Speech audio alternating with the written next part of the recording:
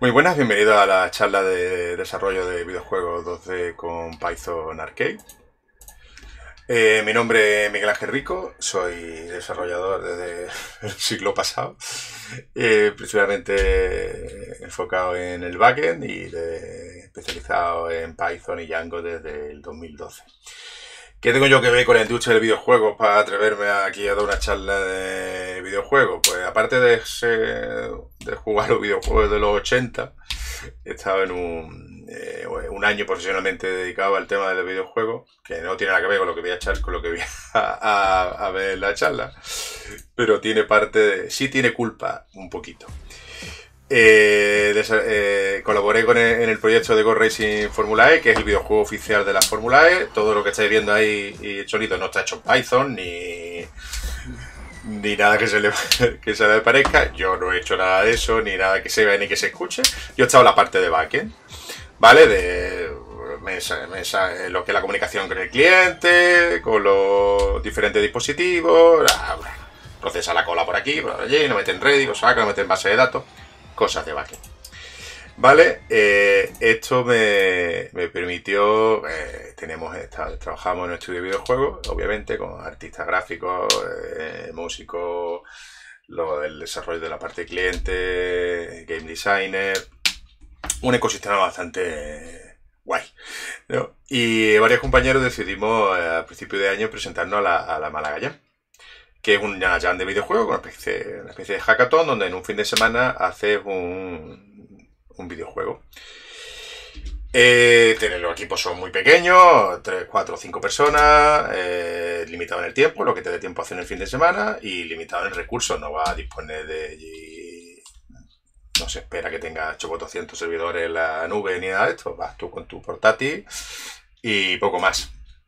Obviamente no se iba a hacer nada online, nada de videojuegos de multijugador en línea, tal. Ahí empezó a chirriarme el asunto. Digo, bueno, yo entonces, ¿qué pinto aquí? Y mi, mi curva de aprendizaje aquí sería, iba bastante cuesta arriba. Porque el tema de conceptos 3D y demás, yo, estaba. Eh, no era algo que yo manejara en mi día a día. Ellos sí, claro. Y yo ya me enroqué y dije, mira, pues yo lo quiero hacer en Python. Eh, ¿Qué pasó? Porque me quedé yo solo, ¿vale? de los... El, equipo formado por mí mismo fue el que dije, ¿por qué no se puede hacer un videojuego en Python? Pues yo voy a hacerlo. ¿Y cómo se empiezo? ¿Cómo empecé con esto? Eh, pues obviamente como empezamos todos, buscando en Google. Eh, llegué, me recomendaron, mejor dicho, un compañero, Godot, o sea que era un, un IDE nuevo, está totalmente integrado el framework, está, genial. Hace, eh, hace poco estuve en una charla de Libre que la dio Álvaro del Castillo, donde vino una introducción bastante buena a Godot. De hecho, eh, quiero, quiero profundizar en él, en Godot, pero en, eh, en ese momento cuando estaba preparando el tema de la Jam, me era demasiado nuevo todo y de un paradigma nuevo de escena, mensaje y demás que no me, no me, no me lo tenía claro. Llegué a Python Arcade, eh, que puede utilizar el IDE que yo quisiera. Eh, utilizaba simplemente clases y métodos eh, que estamos acostumbrados y tiene muy buena documentación. También hay otro que es Pygame, que no es que tenga nada en contra de él, pero llegué primero a Python Arcade y, me encantó. Por sus tutoriales, la los ejemplos que trae, era bastante rápido y, directo el hecho de empezar a, desarrollar con él. La instalación, muy sencilla, tiene una poca eh, las dependencias de eh, Python 3 y un par de librerías de para gráfico y compresión. Y eh, simplemente eso con un pip install arcade. Y con eso ya lo tenemos integrado en, eh, con nuestro proyecto en Python. Tiene que ser eh, Python 3.6 o posterior y no soporta para nada Python 2.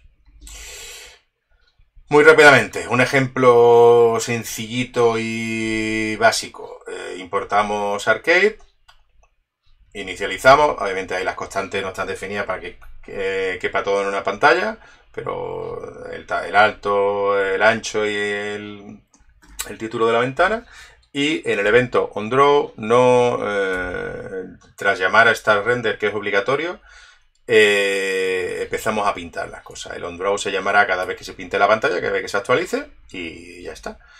entonces, nuestro, nuestra aplicación sería simplemente inicializamos la, instanciamos la, el objeto de esa clase para que Arcade sepa que existe y run. Y con eso tenemos el sencillito ejemplo inicial. Esto a la hora de hacer un videojuego, pues más bien se nos complicaría el asunto mucho, porque eh, a nivel de estados y demás eh, se nos quedaría corto. Pues lo tenemos que controlar todo. Eh, bueno, y ahora, si ocurre esto, ¿qué es lo que hago? ¿no? Como el estado del mundo y demás. Entonces, se, se, divide un poco esto para que, para que sea más sencillo. Hay un nivel de abstracción superior que es el, los view modes, que en lugar de directamente pintar en la pantalla, pues tenemos un view mode. Podemos registrar varios al inicio. Eh, un view mode lo que viene a, modelar son diferentes, diferentes modos, eh, diferentes, por ejemplo, en la pantalla de título, la inicial, el menú inicial, cada uno de los eh, de las pantallas, de los niveles del juego, la típica pantalla de ha ganado o ha perdido. Y simplemente en lugar de eh, decir directamente a la ventana, me pinto lo que hay aquí, a la ventana le decimos, oye, que la vista que vas a usar es esta. De manera que ya podemos tener todo encapsulado de manera más, más sencilla. La, estructura básica del view es esta, el ini setup, separado eh, lo que es la definición de la inicialización para poder llamar al setup eh, varias veces en cualquier momento en la vida del objeto, así no tenemos que llamar al init, se puede llamar al setup. El onShow, que se llama una sola vez, cuando se muestra ese view mode la primera vez, pues se llama ahí, ya se borra la pantalla, coloca las coordenadas donde quiera y demás. Y el on-draw es donde empieza la, la, tralla. Ahí son 60 veces, ¿no? Los, 60 FPS. Y ahí tienes que pintarlo todo en el momento. On update también se llama muy a menudo, muy tanto como el on-draw o casi. Y, ahí es donde se va actualizando el estado del mundo. Ahí eh, se nos pasa el delta time, que es cuánto ha pasado desde la última vez que te llamo. ¿no? para que puedas, eh, a la hora del tiempo, súper importante a la hora de calcular trayectorias, de movimientos, velocidades y cosas así. Y obviamente para reaccionar a los, a, los eventos del usuario, pues tenemos el OnKeyPress y el, el OnKeyRelease y todos los eventos relacionados con el ratón para poder eh, eh, reaccionar a lo que hace el usuario. Otro concepto básico del tema de lo, no solo de arcade, sino de yo creo que cualquier juego en 2D son los sprites. Llevo escuchando yo hablar de sprites desde el siglo pasado. Porque todo en arcade se puede modelar todo o casi todo como un sprite, porque son fáciles de pintar, fáciles de animar y muy fáciles de detectar colisiones. Desde el personaje, el, el, jugador hasta los enemigos, el suelo y las paredes son todos sprites en el juego. Eh, todo esto hay que darle eh, un comportamiento físico, por eso está el motor de física, que típicamente lo llamaremos en el método update, cuando nos dicen, eh, venga, actualiza el, actualiza el estado de tu, de tu mundo. Ahí utiliza el motor de física. Depende, pues, va a depender muy mucho del, del juego que estemos haciendo. Si es de plataforma tendremos una gravedad, si es isométrico pues tendremos eh, chocar contra las paredes y cosas así. Si es un juego de nave pues tendremos unas inercias y no, es, no, es, no tendremos la referencia arriba y abajo de la gravedad cayendo, sino es algo más desde arriba. Depende del juego, ¿vale? Y no es una, especie, una clase especial que tendremos que heredar de ella ni nada, simplemente es una manera lógica de agrupar el código, que el motor de física lo tengamos ahí, este es el que se encarga de hacer esos cálculos y lo llamamos explícitamente en el update, decir, oye, ahora calcúlame eh, las posiciones de todos los objetos que se muevan. el del jugador va a depender de, de las entradas del usuario, pero los enemigos van a tener un movimiento autónomo y si hay una roca que va cayendo o lo que sea, tenemos que ir calculándolo frame a frame o cada vez que nos llamen al, al on update. Eso se va a encargar el motor de física.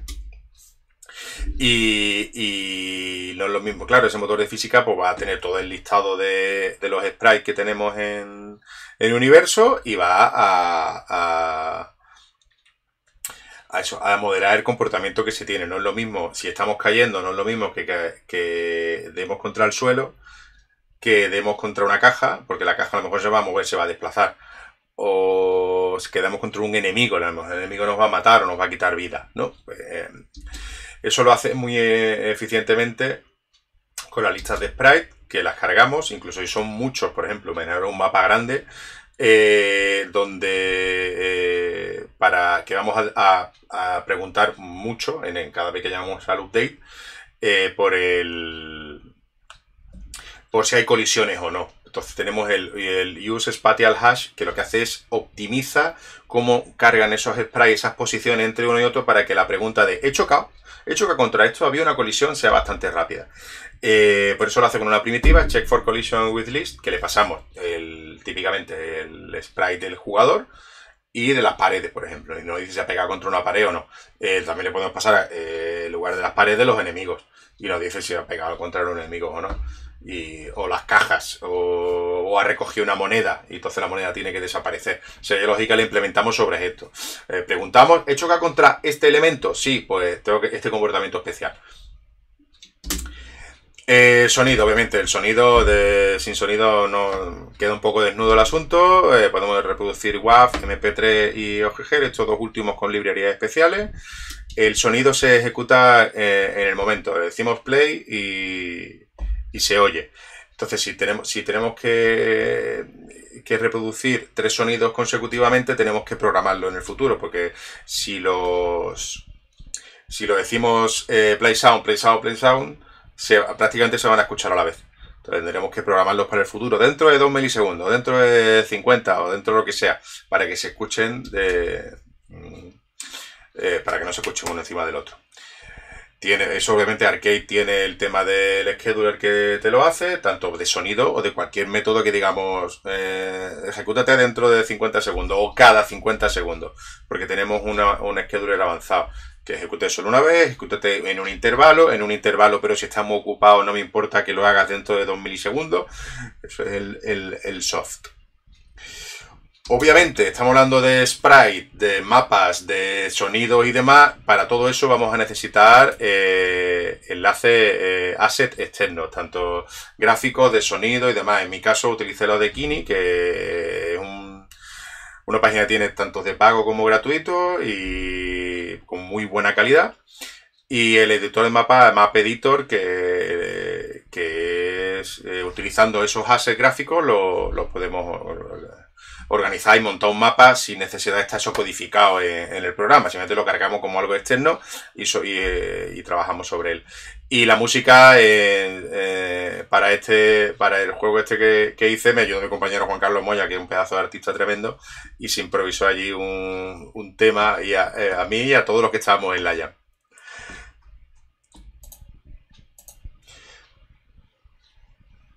Muy rápidamente el tema del, editor, el map editor, eh, podemos definir, en este caso lo he definido isométrico, pero podemos hacerlo en plano, sin, esta vista isométrica y lo bueno que tiene es que puede definirlo por eh, diferentes capas. Así podemos separar a la hora de leerlo podemos tener separado lo que es el suelo, que realmente no nos va a afectar, a no ser que habrá zonas donde podamos pasar o no, podemos decidirlo eh, eh, de alguna manera distinta porque está en capas distintas, o eh, los muebles, que realmente no nos va a afectar mucho lo que están de manera decorativa, y, las paredes. aquí, perdón.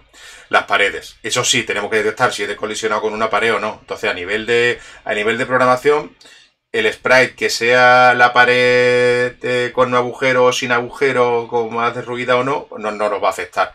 Eh, los gráficos se definen aquí y simplemente nos interesa saber si está en la capa de, de walls o no.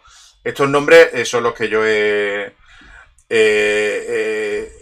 puesto que después en el código hago, hago, referencias a él. Entonces puedo definir diferentes mapas sin necesidad de, de tenerlo todo eso codificado.